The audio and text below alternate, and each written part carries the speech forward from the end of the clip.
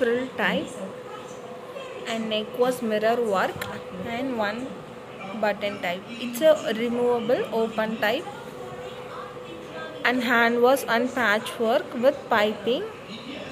Is a lengthy hand uh, 6 uh, inches 5 to 6 inches length.